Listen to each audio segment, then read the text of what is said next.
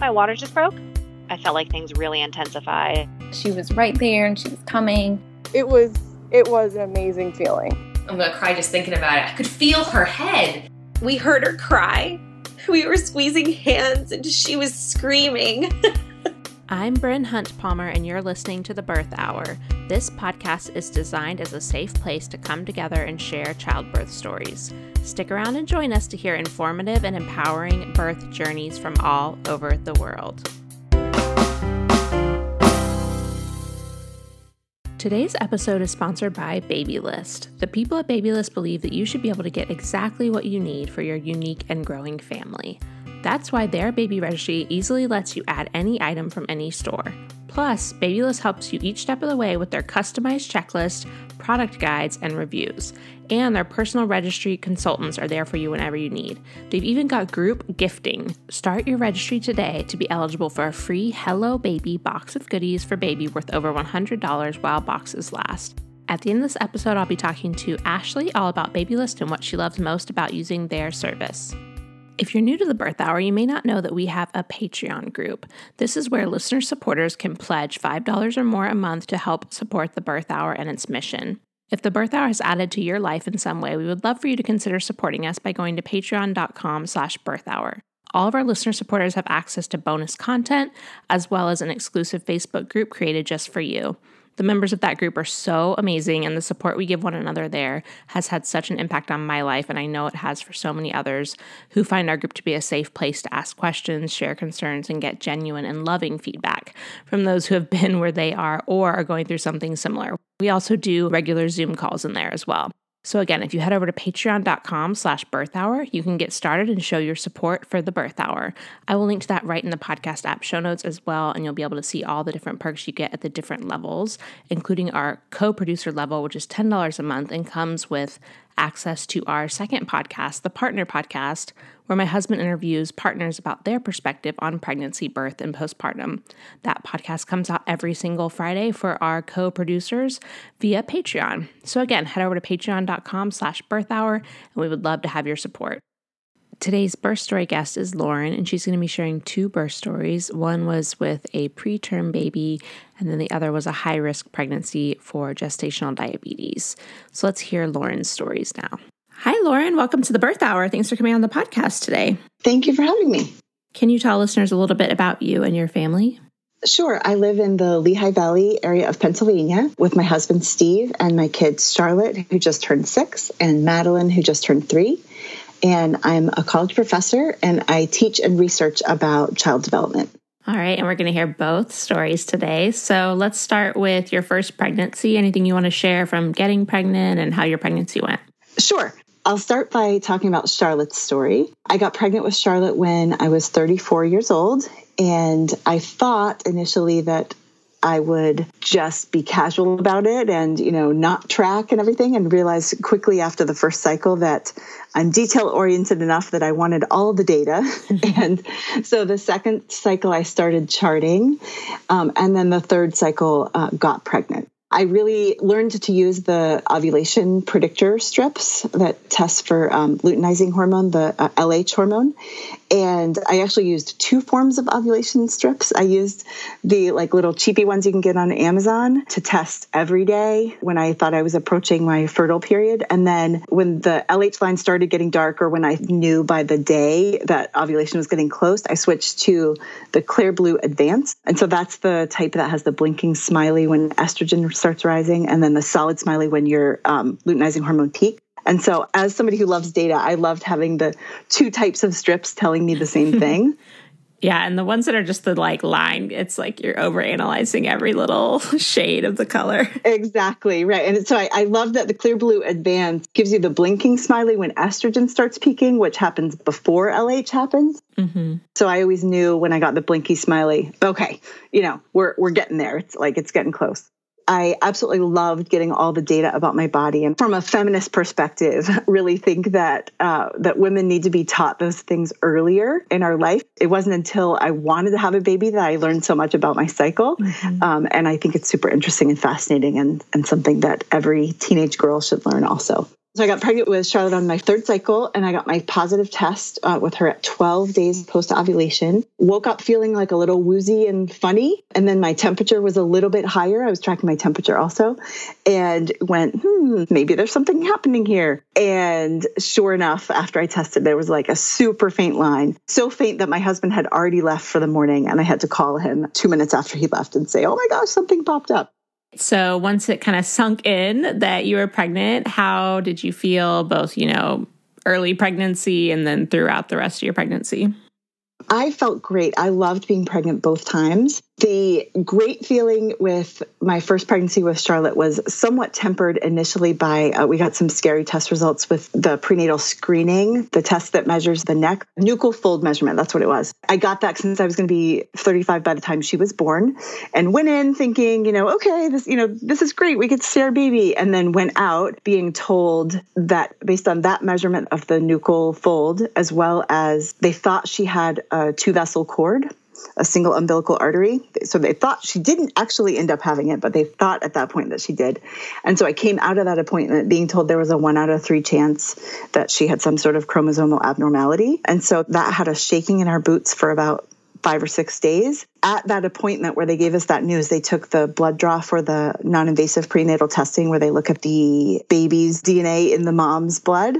And while we were waiting for those results to come back, that was just one of the scariest, most stressful times that we had ever experienced together, not knowing what we were going to do depending on how those came out. We worked with a great genetic counselor who, when she got the results, she called me right away. And I'll never forget the first thing she said is, I'm calling with good news.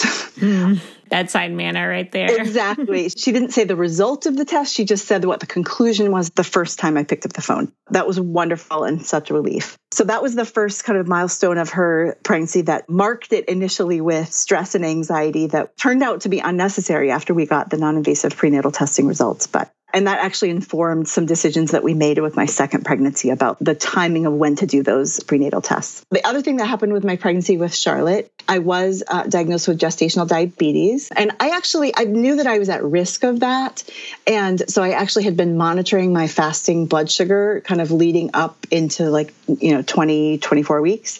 And I could actually see it come on. I could see my fasting blood sugar start to go up after about 24 weeks. So I was not surprised when that came back positive for gestational diabetes, but I was able to manage that with diet and exercise pretty effectively. And we were able to go to on a baby moon to Hawaii when I was 27 weeks pregnant, highly recommended. And I felt really good throughout my whole pregnancy. I exercised and I loved being pregnant, felt really positive about my body and loved that time.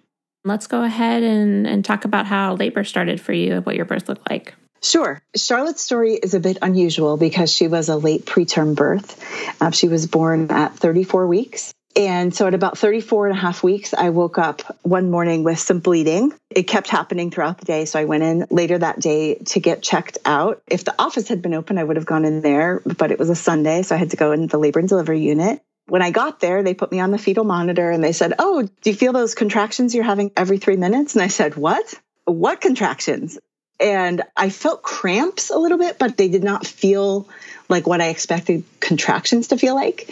And then when they noticed I was having contractions, they said, Well, would you mind if we do a cervical check? So I consented to that. And then I was surprised to be three centimeters dilated already. So that was quite a surprise, not something that we had anticipated or were thinking would happen at all. Yeah. And so they admitted me to the hospital just for observation overnight. And I got a horrible night's sleep because they did non stress tests every hour. So that was awful. The hospital bed was uncomfortable. And by about 5 or 6 a.m., I woke up and I couldn't sleep any longer and just had a horrible night's sleep. I started noticing that crampy feeling more and more. And the hospital staff didn't really realize I was in labor. I knew I was in labor earlier than they knew. I knew by about late afternoon that I wasn't going home. By late afternoon, they kept talking about, well, we'll check you later this evening when you've been here 24 hours. Maybe you'll go home. You'll be pregnant for another couple weeks and she'll be born at full term. And by, you know, one, one or two o'clock in the afternoon, I'm like, I'm not going home but it was my sense that the medical staff didn't believe me. You know, I kept saying, I don't think that's going to happen. And I just didn't think that they were believing what I was saying about my own body. So that was frustrating. I intentionally made the decision, though, not to try to convince them or show them how they were wrong because they were leaving me alone. and they were basically letting me labor like I would at home. You know, I could get up and move around. My husband uh, went home and got the yoga ball. I was making phone calls to my mom and friends and people to kind of, you know, talk through and have a little bit of company. I was getting through it and it was fine. So it was actually a great place to do early labor with what I knew was going to be a preterm baby because I was right there in the hospital. I had medical attention, but they weren't really treating me like a patient in labor yet. And that turned out to be an unexpected benefit. So at about 7 p.m., which I now realize is shift change, which was a bad time to do it, but at about 7 p.m., I asked them to check me again. And it was very clear to me I was in labor. Then, then I was six centimeters. And then they went, Oh, okay, I guess you're in labor. And I went, Yeah, I, I, I know. and they admitted me to labor and delivery. And because they had, you know, been with me the whole afternoon, it was apparent that, you know, I was into natural childbirth, even with a preterm baby, that I wanted to go as natural as I could. I would highly recommend a doula. I called my doula that afternoon and she, I think it was her actually who gave me the advice that, like, hey, they're leaving you alone, you know, just like let them leave you alone. And when I got admitted to labor and delivery, I called my doula. She um, came right away as soon as she could. And I had a great nurse who liked natural labor. I think putting the pieces together, having heard so many birth stories now, I think probably what happened is my nurse in the observational unit probably handpicked a nurse who liked natural labor because she knew me as a patient already. I don't know that that happened. I'm just kind of filling in the gaps. It doesn't seem like chance that I got such a great nurse who liked uh, natural labor. So she was wonderful. At one point, my nurse was on the floor on her hands and knees under me, holding the fetal monitor on as I was going through a contraction because I wanted to like lean over the bed or something like that. And it's not every nurse that you get who goes to those kind of lengths to respect her patient's birthing preferences while also getting the doctors the monitoring data that they want. Mm-hmm. And so she was fantastic. I really, I really appreciated her. Her name was Sheila so that was great. She it was really supportive. My doula was wonderful. My husband was wonderful. And by about 11 p.m., I started really getting tired. I hadn't slept well the night before. I'd been up for 18 hours, laboring for the whole day. And although I didn't want an epidural, I, I requested an epidural at that time, not for pain. I was coping really well, but because I was tired. I was six, seven centimeters and imagining I've got to get through the rest of labor and then have the energy to push and I'm going to need some rest. And so I requested the epidural and uh, while we were waiting for the anesthesiologist to come, I said, Well, you know, while I can get out of bed, let me just go ahead and get out of bed while I can. And right when I got up, my water broke dramatically, and my doula had to jump out of the way to avoid her shoes getting splashed. And, you know, it was like out of the movies, the water breaking. And labor moved really fast from there. My doula was wonderful in explaining to me right away, because she knew of my desire to know what was going on, that I didn't have any cushion anymore. The water wasn't cushioning anything in the uterus anymore. And she did a progressive relaxation exercise with me that I had done throughout prenatal yoga yoga with her. And that really helped me just kind of get back to that calm place in the aftermath of my water breaking so dramatically within about 10, 15 minutes after my water broke, it was apparent that I was starting to feel pushy and starting to feel pressure. And one of the residents came in and checked me and found that I was fully dilated at 12:10, just after midnight. So that's 20 minutes after my water broke. So I went from seven centimeters to 10 centimeters very quickly. And the residents and the nurse knew that I wanted a natural labor anyway, and they knew that I had requested for the epidural, but here I am. I'm fully dilated. This is great. You know, I obviously had that burst of energy and all the excitement of my water breaking so suddenly. And so I remember the resident said to me, You could get an epidural if you wanted to, but why don't you just do it? you know, you're, you're right here. And so then I had to wait for the doctor to get there, panting through contractions. And the resident was really great. I wish that she had been the one to deliver my baby because she had been so encouraging. I was admitted the doctor came in and there were lots of people in the room because again she was a 34 weeker they knew she was likely to need some help right after birth. And doctor came in. I pushed for six minutes. I think it was about three pushes and she was out. And it was incredible. That's amazing. Yeah And so this is about half an hour after I said, Oh, I'm seven centimeters. I think I want an epidural. Yeah. That transition is Exactly. it's real. it is real and it was intense. yeah. I remember Charlotte being born. I remember, you know, looking down and seeing her as she was being born and the doctor was pulling her out. She was so alert and she was just looking all around. And I tell her now when I tell her about her birth story, it was just looking around like, what is this? What is going on? and she was super alert, which was really comforting and wonderful since again, I knew she was a preemie. The NICU team rushed her over. And like what the genetic counselor had said to me in framing the results positively right away, one of the things that I remember they said, which was so helpful at the time, is, you know, they rushed her over and I didn't think I was going to get choked up, but here I am. Hmm. They rushed her over and I said, Is she okay? Is she okay? And they, they said, um, We're just helping her breathe. So that, that's such a difference. They could have said, She's having trouble breathing. Mhm. Um, but they said we're helping her breathe. yeah. And the the difference between if they had said she's having trouble breathing, I would have panicked. Right. But they said we're helping her breathe, and that made all the difference. Hmm. I'm gonna take a minute. Yeah. I t- I've told this story so many times. I don't know why I'm getting. Um, That's such a meaningful detail, though. I love that that stuck with you. yeah. Um, so my husband rushed uh, with the NICU team to the NICU. He stayed with her for a little bit. He texted me a picture of her, um, and my doula and my my great nurse stayed with me to deliver the placenta and everything. I don't remember much of that. I really don't even remember delivering the placenta, honestly. I remember asking to see it, and they brought it over in the container. And being a scientist and an intellectually curious person, I remember saying, That's so cool. and you know, everybody in the room laughed. But it really is amazing. Like, I am amazed at what our bodies do when, when we're pregnant. After a little bit, my husband came back from the NICU. And when I got all cleaned up and ready, I went up to the NICU with him. And we have a couple little videos and pictures of me meeting her, which are just lovely. And I wish we had more of them. And after she started getting sleepy, I put her back in her isolette and got set up in my mother baby room. And all this time, it had not occurred to me, nor had anybody suggested, oh, you might want to pump. or as I was holding her in the NICU, oh, you know, why don't you put her skin to skin?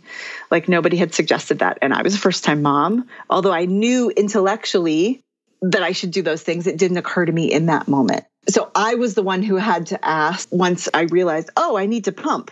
You know, she was born four hours ago. Why has nobody brought me a breast pump?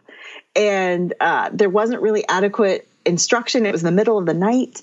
There wasn't really adequate instruction on how to pump. And so I was just figuring that out all on my own. The day shift when they got there a few hours later was a little bit better, but learning to nurse was hard um, and learning to pump was hard. She had been born uh, just after midnight, so I got kind of an extra night in the hospital because that first night basically didn't count. So that was lovely. I got I got an extra night of what they usually would give for a vaginal birth, and I had to go home while Charlotte stayed in the NICU. And this was an intense time. I feel like we have a birth story and then we have a NICU story for her. NICU moms can relate to. Yeah. I have since realized that feminist indignant rage is one of my postpartum symptoms. Hmm. Specific. I kind of experienced that with my second as well. But it's just, you know, the, the rush of hormones and it's intense time. And then, you know, I just got extra worked up and extra mad about things that I thought could be better for moms and babies. So, um, individually, our NICU staff was great. The lactation consultants in the hospital were great. Individual people were great, but the system could use some help. at least it could have at that time. I think it's a little bit better now. This was six years ago. But for instance, there wasn't a place for postpartum moms to rest. I went home, I got discharged, I didn't have a room. Um, we lived 30 minutes away from the hospital. When we come to see her at the NICU every day, we could see her at her care times of 12, 3, 6, and 9 around the clock.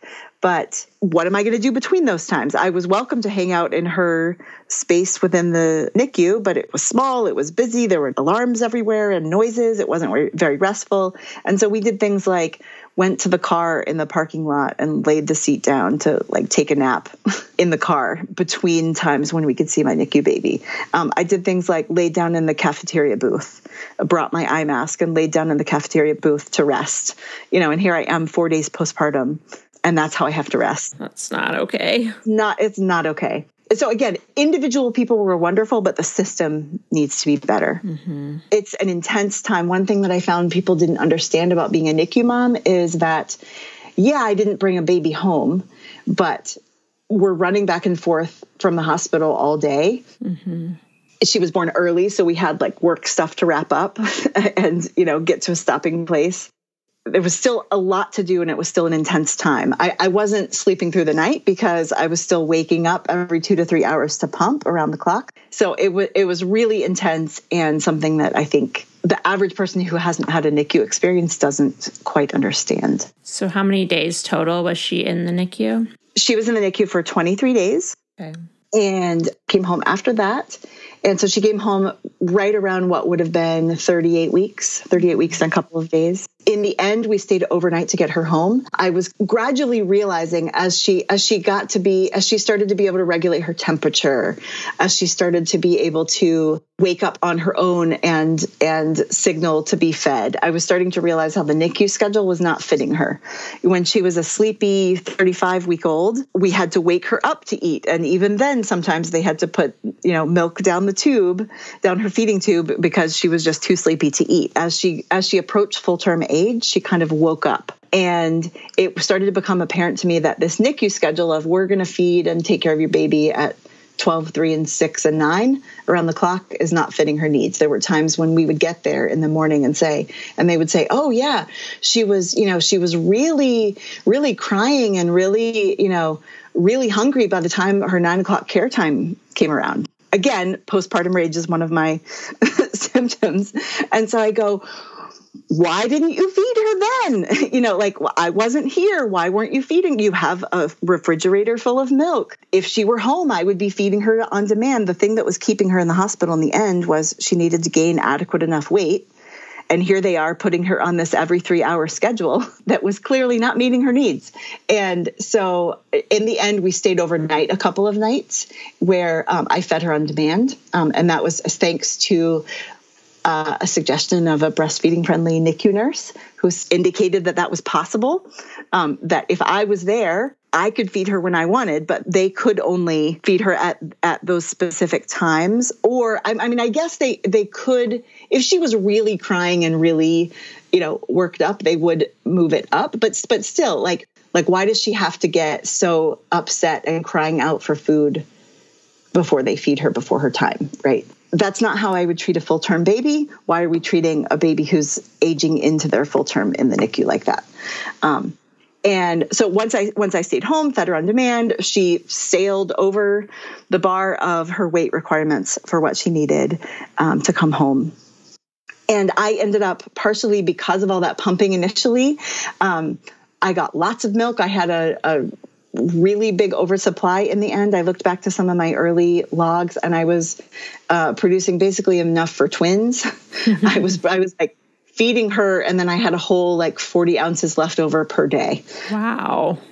And so I had lots of milk and being an overachiever, um, I, I could have cut down the pumping, but the, just that NICU mindset of like, you know, are you going to have enough milk? And like, right. it just got into my head. And I didn't want to cut down pumping early on because I know if you cut down early on, sometimes it's harder to get it back. Mm. Um, and so I just kept up more of a pumping schedule than I really needed to and started freezing milk.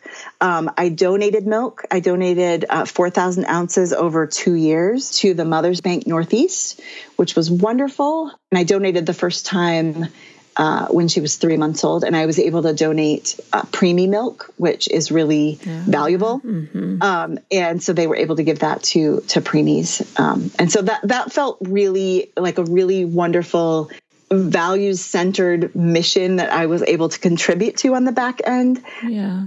And I would highly recommend milk donation. Um, it was a great experience. Everybody at, at the milk bank is fantastic. They are so positive and so supportive Be sure to share the link to yours and we'll put it on your show notes page. Absolutely. Great. All right. So let's hear about your second pregnancy and how that went. Sure. Getting pregnant with my second baby, we actually ended up um, doing so a little earlier than we were planning to because the way I, I say this tongue in cheek is I turned 37 and I heard the clock ticking. Um, and so I, I, we were initially going to have our kids four years apart. Um, but when Charlotte was two and I had just turned uh, 37, uh, it just it just became apparent to me. I definitely wanted to have a second kid. We definitely wanted to have a second kid, and it's not a sure thing. And particularly with that early scare that we had had with the prenatal testing with her, even though it turned out to be a false positive, um, I just didn't want to take any chances and I wanted to to just move forward with it. Um, and so I got my IUD out and I got pregnant the first cycle after my IUD was out. uh, and so we did not expect it to be that quickly, but based on what I had learned about tracking and using ovulation uh, predictor strips and, and things like that, I knew what I was doing and got pregnant the first cycle after the IUD was out. So that was um, wonderful and unexpected, but a, you know a definitely a blessing that we are appreciative of because I knew what it felt like to feel that early pregnancy woozy feeling. Mm-hmm. Um, I actually woke up woozy, like with that, just the early pregnancy feeling, just feeling off is the best way to describe it. Um, at eight days post ovulation, and I got my first positive at 11 days post ovulation. And by that point, I had had a couple of those mornings of feeling woozy. And so it wasn't even a surprise. It was just like, yep, that's what I thought. um, and it was just confirmation for what I already felt like I knew. So Madeline's pregnancy, because I had had the um, a preemie, it was high risk right to the start, right from the start. And I had already been hooked up with a great maternal fetal medicine practice from before. And so I went back to them. Um, I had gestational diabetes again, and it was identified earlier than it was initially. I eventually had to have both uh, metformin as well as uh, eventually insulin. And my requirements for medication to manage the gestational diabetes just kind of um, kept getting more and more as the pregnancy advanced. So at first it was just metformin, and then I needed um, slow acting insulin to control fasting numbers, and then I needed fast acting insulin after meals. And being a detail oriented person who loves science and data, uh, gestational diabetes actually fit me really well because I took meticulous notes about what my blood sugars were and what I had eaten to get particular numbers. And it, it, by the end of my pregnancy, I had like two things I could have for breakfast that I knew worked, but it worked with my type A personality. So I took um, meticulous notes. I actually ended up uh, losing a fair amount of weight just kind of accidentally. It's it's funny. Um, it's funny to think about losing weight accidentally, but I, I wasn't trying to. But just as a side effect of ge- keeping my my blood sugar under control, and I was still exercising throughout because that that helps control blood sugar as well. I lost weight. So gestational diabetes was a whole thing, and then I was also on baby aspirin to prevent preeclampsia, which I was at risk for. Um, I was on um, probiotics to just keep all the flora healthy and and um, keep away any like uh, infections or yeast infection or anything. And then I was on Makena progesterone shots from 16 to 30 weeks. And my husband did these at home. We did the first one in the office, and he learned how to do it.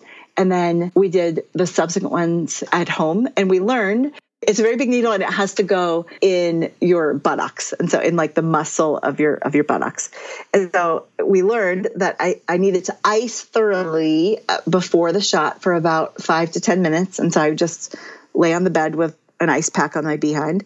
And then he he would do it. And you can't even do it quickly because the medicine is kind of like thick and like almost oily. So you can't even like just give the shot quickly and take it out. It t- you like it takes a few seconds to push it all in. And so mm-hmm. he learned to do it as quickly as he could. And then I would ice for another five minutes or so afterwards. And that was the best way to do the progesterone shots. I do have one tip for anybody on progesterone shots. This was now three and a half, four years ago, but I got thanks to the suggestion of the maternal fetal medicine office, they hooked me up with what was called at the time Makena Care Connection.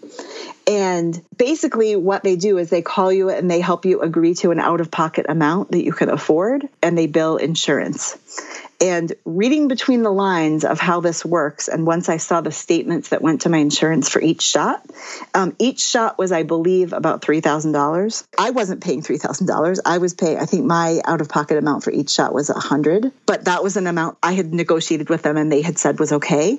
And then they billed the insurance $3,000 a shot once you start these shots at 16 weeks, you cannot stop them. It is it is riskier to start them and stop them than it is to just not do them at all. Mm. And so, reading between the lines of how healthcare works, I'm pretty sure why they do this is they know if they get you on the hook and they bill your insurance $3,000 a shot, they're going to get a lot of money and they'll let you basically pay whatever you agree to. So I I wished I had tossed out a lower amount.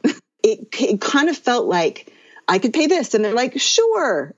like, what if I had said $5 a shot? Would they have agreed to that? I don't know. But that is a perverse way that our medical system works. But if you're lucky enough to be somebody with insurance, and I, I'm lucky enough to have a really good insurance plan, I wanted other people to know that. Yeah. I mean, it certainly doesn't seem ethical to me, but Right. That is how they appear to work. Yeah, I appreciate you sharing that because I feel like we always talk about advocating during birth, but there are definitely things like that that come up during pregnancy, and you just like have to ask all the questions all the time, not only right. about your health but about exactly financial stuff. And you know, it's funny you say that, Bryn, because that, that was my next point that I wanted to talk about: um, advocating for myself. I'm a professor. I'm a scientist. Uh, I have access to empirical literature, and you can bet I did bun- a bunch of research myself and, and looking at, at primary empirical literature to the point that I was correcting the doctors about ACOG recommendations or, or whatever. And that is definitely something I learned. I, I am a, I recognize I am a particular type of patient. Doctors either really like working with a patient like me who is very informed and wants to be very involved in their care, or they really hate patients like me but I was lucky to, enough to have a good match with my providers who who appreciated my need to know and advocate for myself, or or if they were annoyed by it, they did not show that they were annoyed by it. um, and so one of the ways that I learned to advocate for myself was um, I ended up having a continuous glucose monitor by the end of my pregnancy, and so by the third trimester, I did twice weekly non-stress tests and ultrasounds, and as you commonly find with gestational diabetes babies, her um, I had high fluid and her belly was measuring large. And if you looked at my blood sugar numbers, they were I had to be on insulin for them, but with insulin and eating the way that I knew I needed to eat and exercising and everything, everything was perfect. And so it was unclear like where why is her belly big and why do I have excess fluid if my gestational diabetes looks controlled on paper.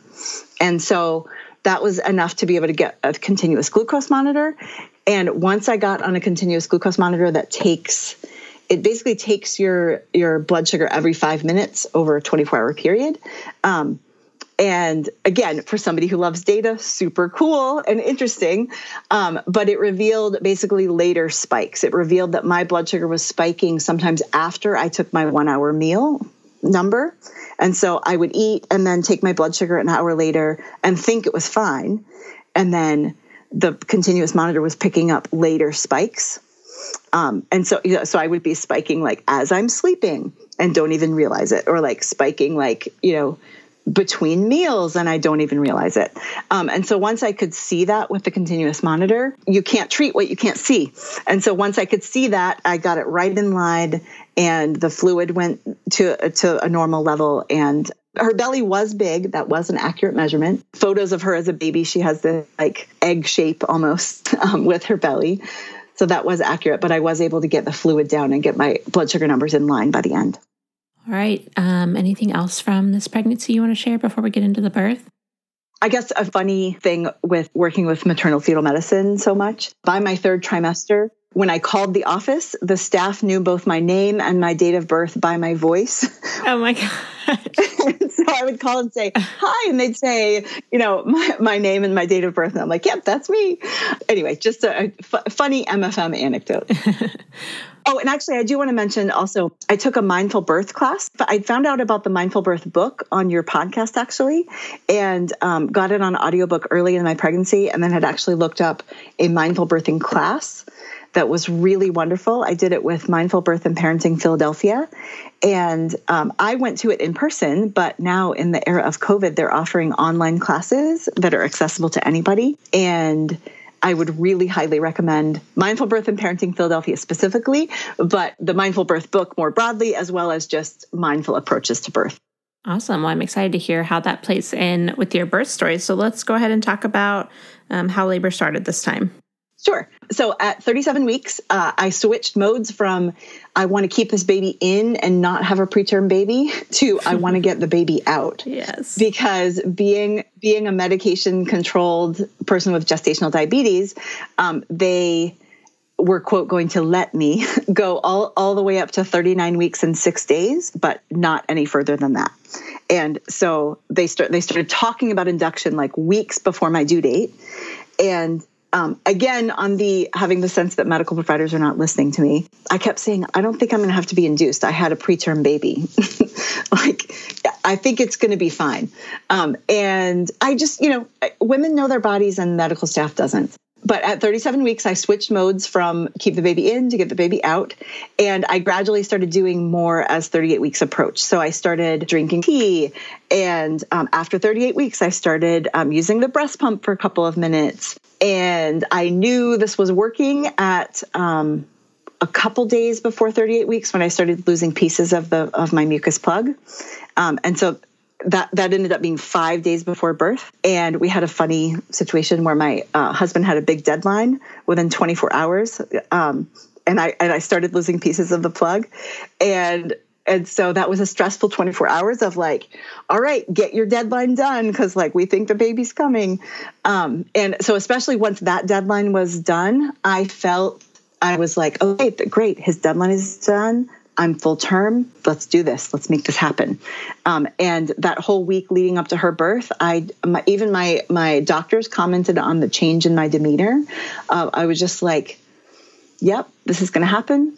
We've got it under control. I'm not worried. Let's do this." Um, and so I felt really calm and centered as I went into her birth. I was bouncing on the yoga ball, doing prenatal yoga stretches, walking a lot. Uh, I had been doing pelvic physical therapy. I really credit this for knowing my body so well. And I also started to get very tired leading up to her birth. So I, I am not a napper, but in, in the days leading up to Madeline's birth, I took two naps per day. Um, so uh, definitely my body knew that something was happening.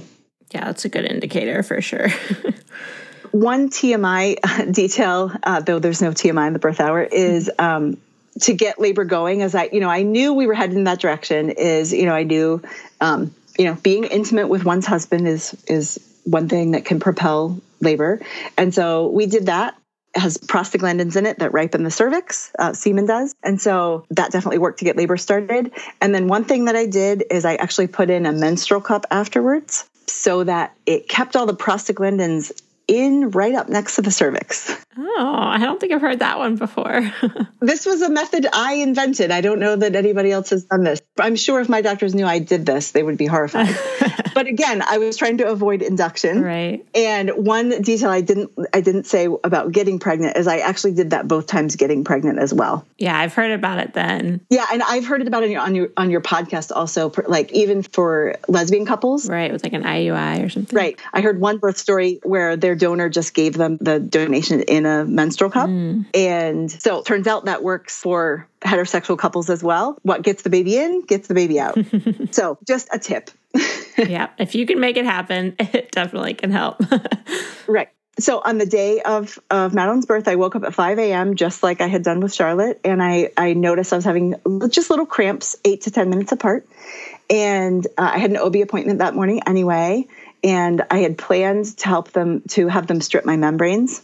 Um, didn't end up being necessary because I went into my appointment and and the doctor went, oh you're uh, five to six centimeters dilated right now. Um, and so I was five to six centimeters dilated with very mild contractions, you know, that like I could see on the NST strip, but were completely manageable. Like they felt like menstrual cramps. They were not hard at all. So I went out of that appointment going, oh wow, okay, all right, I'm five five and a half centimeters dilated right now, and like I don't really even feel like I'm in labor. All right, this is going to go pretty quick, hopefully. Um, and so I went home to rest. I was re- very thankful for my doctor's office in not wanting to admit me right away, right then. But they said, you know, go home to rest. You know, come to labor and delivery later today. Um, and so I went home to rest. I had lunch with my daughter, who was in our nanny share at the time, and we put her down for a nap. And then I had an experience I've heard about on your podcast, um, otherwise, where once I knew that my almost three year old was safe and we had arrangements for her, labor immediately ramped up, like within minutes. Within minutes, my contractions went to like a little crampy to I have to breathe and walk through them. It was dramatic. Um, and so that's just the power of the mind body connection. Once I knew my first baby was safe, my body knew that I, I could have my second baby. All right. So then how did it progress from there? So I went to the hospital by about 3 p.m., which was earlier than I intended. But um, like I said, labor ramped up really quickly. And so all of a sudden, my contractions were two to three minutes apart. I was having to walk through them. And um, I actually labored in the lobby for about half an hour ahead of time because I was close to the labor and delivery unit and close to medical attention but i was i was handling it i didn't you know i didn't feel like i needed anything from the medical staff yet. I, you know, I was walking, I was swaying, I was breathing through contractions. Um, I was having a snack. I knew they wouldn't let me continue to have my snack when I went upstairs, and so that actually it, it's silly because we have these photos, birth photos of like laboring right outside the gift shop that look kind of funny, but it was great. I, I was close and I was safe and I and I was doing my own thing. Um, and so I was admitted to the hospital about four o'clock. Um, and when I was admitted, I was eight to nine centimeters dilated, 100% effaced, and plus one station with a bulging bag of water. And so at four o'clock, we're like, all right, this is going to be pretty quick, maybe. Um, it was not as quick as we thought it was going to be. My doula came, and my doula was um, was wonderful, helping me do prenatal yoga poses. I loved the counter pressure on my back that she would do during a contraction. Um, I loved uh, laboring, um, laying over the birthing ball.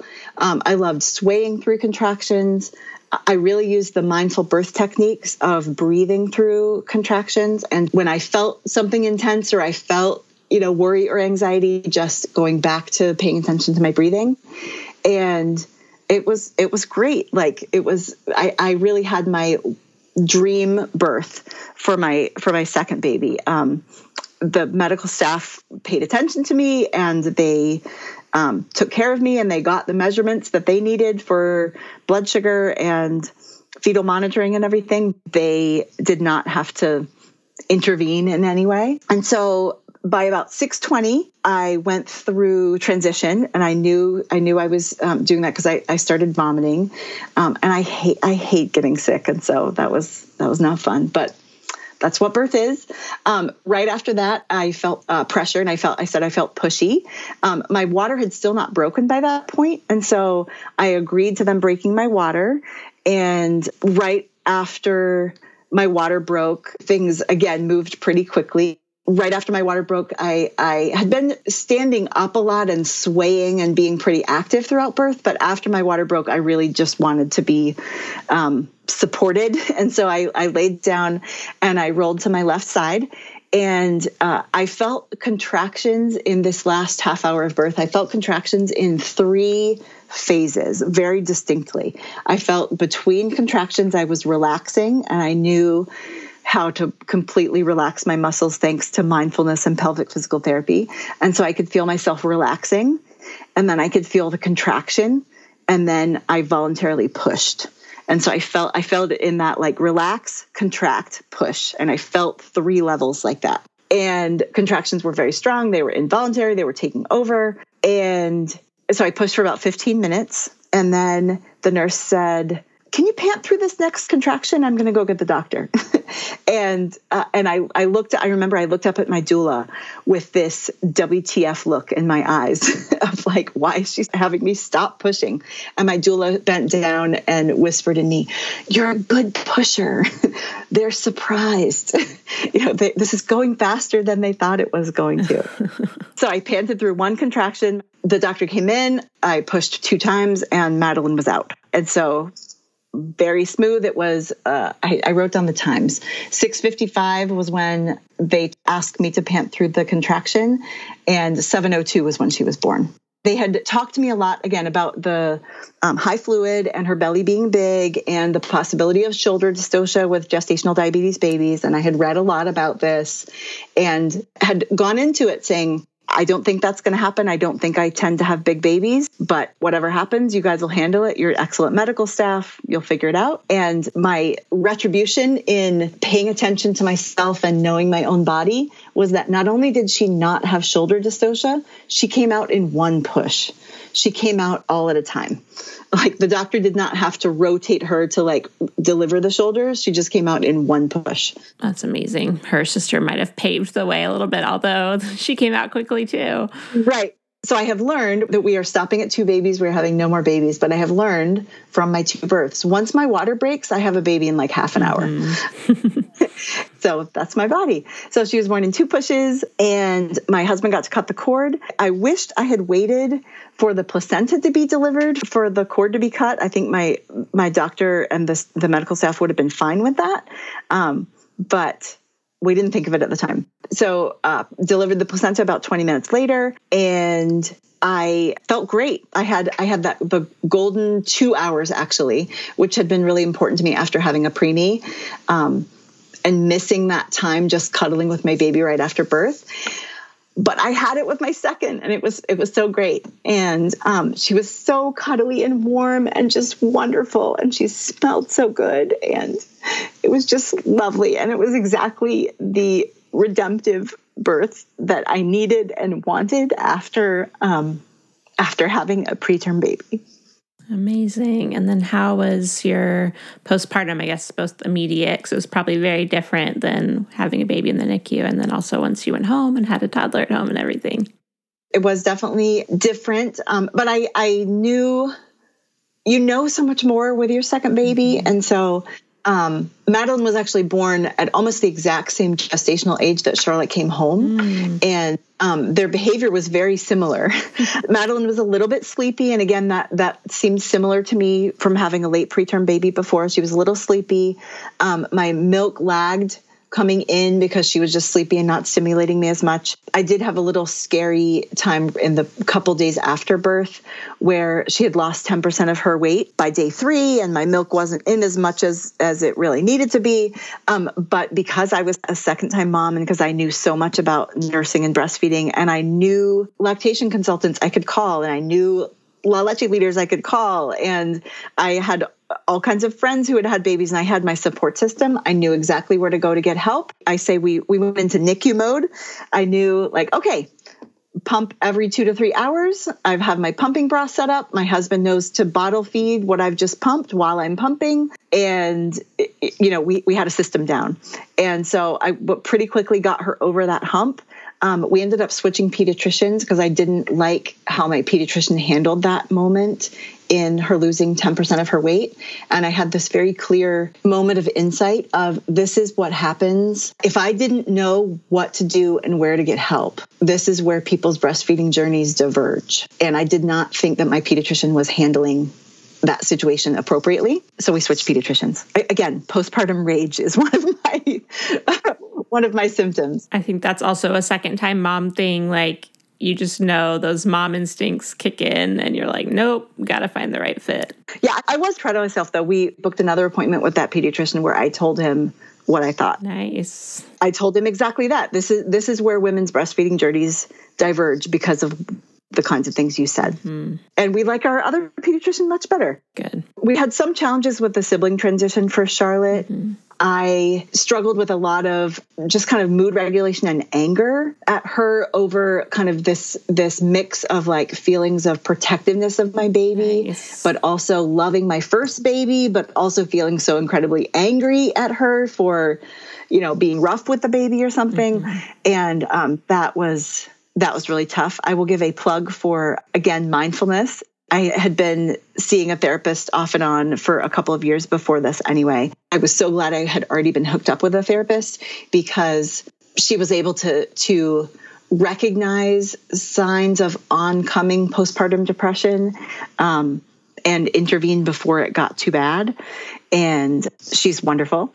And she uses specifically mindfulness techniques and specifically um, dialectical behavior therapy, DBT therapy, which has a lot of a mindfulness component. But I really benefited and continue to benefit a lot from my therapist and from DBT therapy specifically. Nice. All right. Well, we're kind of here at the end. Did you have any resources that you want to share? Yes, I would highly recommend um, both of Emily Oster's books, Expecting Better and Crib Sheet. Um, and I think she has a, a, third one coming out soon, actually, mm-hmm. about uh, early childhood. And I would also recommend Taking Charge of Your Fertility, the book. I learned about charting from that. Um, I would recommend Mindful Birthing. That's by Nancy Bardacke, um, as well as any sort of mindful birthing class. And again, Mindful Birth and Parenting Philadelphia. La Leche League has been extremely helpful to me. And especially when I had a NICU baby, the Simple Wishes pumping bra was a savior so that I could pump and do other things, you know, pump and and pay attention to my baby pump and write emails you know pump and you know do any anything else. I i loved the simple wishes pumping bra. It was it was really a game changer I would also recommend our birth photographer. We had a wonderful birth photographer. Her name is um, Anne Marie Hamont. She currently is in the Lehigh Valley area of Pennsylvania, but I believe will be moving to Delaware soon. And she was she's fantastic. She's become a personal friend um, who's taken pictures of our, our, family several times. And my birth was one of the first she had done as a as a birth photographer, and she's kind of gotten bitten by the birth bug uh, for for taking pictures of of birth stories. All right. Well, thank you so much for sharing those resources. We'll be sure to link to all of those from the show notes page. And I know people are going to be able to leave comments on your show notes as well to connect. Do you have any final words of wisdom or thoughts to share with listeners? Sure. So I have both micro, small lessons learned as well as macro ones. My small lessons learned are follow your baby, but also lead and kind of find that balance between following your baby, but also knowing as a parent what you need to provide for your baby. It was immensely helpful to learn about sleep and newborn sleep. I learned that in the moment, but I wished I had learned that ahead of time. And so many people on your podcast speak to this, but finding friends with similarly aged babies, either via social media or locally or both. And then my big picture lessons learned would be educate yourself and advocate for yourself. I also am a big believer in values based decision making and identify what's important to you. You know, if you had to boil it down to, you know, the top three things that are important to you in your birth, what would those be? I definitely found it's not so much the, you know, do I have delayed cord clamping or not?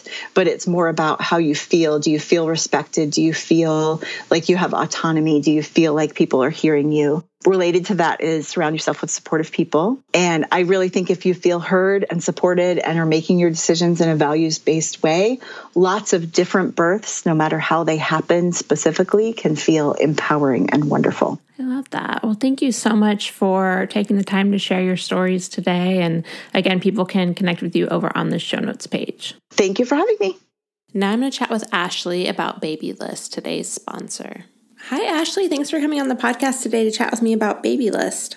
Hi, Bryn. Thanks for having me. Can you tell listeners a little bit about you? Yes. Uh, so my name is Ashley. I have one son, Jasper, who's 14 months old, and I work from home. I run a, a podcast about Waldorf education called Waldorfy. Very cool. Um, did you do Waldorf teaching before having your son, or just? I didn't actually. I was a Waldorf student. I went to oh. Waldorf school, uh, grades one through eight, and my husband actually went K through twelve. So uh, we had a lot of experience. We went back to a parent and child class, and parents were really interested in what we had to say about our experience, and that's how the idea got started. That's awesome. All right, so Babylist. How did you first find Babylist and get started using it?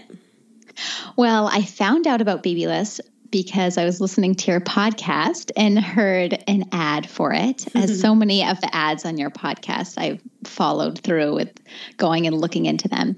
So I found Babylist through you. Then I set up a Babylist account when I was pregnant, probably when I was four or five months pregnant, because I traveled quite a bit when I was pregnant and I wanted to set up my registry early. And one of the features that attracted me to Babylist so much is that it allows you to collect items from all over the place kind of on the internet and i wanted time to be able to really research and really choose uh, which place i wanted to you know, be getting items from. So I set it up nice and early. Like I said, I was probably maybe five months, four or five, six months pregnant. And that's how I got started in setting it up. I bet being a Waldorf kid, you had a lot of handmade items, is my guess. Yes, I did. Um, so I have a really big interest in natural items, uh, mm-hmm. uh, wooden toys, you know, mm-hmm. anything that was organic cotton, I was obviously really interested in. And also items that were, I guess, produced ecologically responsibly, mm-hmm. if that's a way to describe it. Um, so that was a big thing for me. I didn't, it really did not attract me to be going into like a big box store and just clicking a bunch of items because they had them. I really right. wanted to, I had a lot of items from Etsy that I was mm-hmm. interested in, um, from small craftsmen people. And, mm-hmm. you know, like I mentioned, natural materials. Um, I had a beautiful Moses basket that I found that, you know, you definitely couldn't get at a big box store. So, yeah, that was obviously the feature that definitely attracted me the most was I had some really unique items that I knew that the only way my fa- friends, family, especially my aunts who definitely like were not in the loop outside of the big box stores were never going to be able to find on their own and Babylist just made it so easy for them. Yeah, so did you mostly use it on your phone since you said you were traveling or on your computer? I used both. So I set it up on my desktop and mm-hmm. it could not have been more easy. That's one of the features that I loved about it so much. I mean, it took like obviously less than, I don't know, five minutes to set up. Even my husband, who really didn't do a lot of the baby planning things, used it a little bit. um, and the way that it works, you can set up a little button on your like toolbar. So anytime you're looking at baby items on the web, you can just click add to baby list in your toolbar and it kind of adds the item right into your baby list uh, list of items, and that was fantastic. I mean, I just could see something, even you know, be late in the evening or at night on my computer and say, "Oh wow, I really like that." I could just add it right away. So mm-hmm. I started off on my desktop, but like you said, I was traveling a lot, and uh, then I did use the mobile app as well, and that was great. Yeah, it's very much like Pinterest with the little button on your browser. And then what I love is once you click it, the little window pops up that allows you to like choose colors and adjust the price if you need to and things like that. Yeah, definitely. I had some items like I wanted all these cloth diaper covers and I wanted them. Uh, a friend recommended getting items not just like in the newborn size but all the way going going up mm-hmm. so i ha- added like six colors in the first size and then like next five colors in the next size up and each item listed it kind of came up as an individual um, item in size and then i could show you get to kind of even decide the image that you want to display. So that kind of mm-hmm. helped me to get to guide people towards you know which one which ones you wanted and that was really helpful. It just allows you to be so specific in what you're asking for which people really like. I mean i know when i'm getting a gift for somebody i love knowing that it's exactly what they're wanting. And i was so my so my mom and my sister threw a baby shower for me and i loved all of the items I got. I told my dad the night before, I was like, oh, I'm so nervous. I'm going to get some, like, I don't know, big, huge thing for baby or not, or some item that I'm just going to like have to donate like right away that I'll never use for baby. And all of my, my sisters and my mom, they did such a good job of you know, directing everybody to baby list. It was so easy. And I only got items I really loved. I didn't have to return or donate anything. That is rare. yeah. Awesome. I'm so glad it worked out for you, and I appreciate you sharing your experience. Yeah, of course. Thank you so much again to Lauren for sharing her birth stories with us and to Babylist for sponsoring this episode. If you want more information from today's episode, you can head over to thebirthhour.com and search for Lauren's name in the search bar to find her show notes page. And then if you want to check out Babylist, you can find it in the App Store on your phone or by going to babylist.com. I also highly recommend following Babylist on Instagram because they post all of the best um, sales and recalls and just keep you up to date on all things baby, toddler, and even into the preschool ages. I still find things for our two and a half year old all the time. So, again, they're just baby list on all social media as well. Thanks so much for listening. If you enjoyed today's show, head to thebirthhour.com and click Become a Member to pledge your support. And as a thank you, you'll get an invitation to join our private Facebook group and access to exclusive episodes. Your vote of confidence and support means the world to me.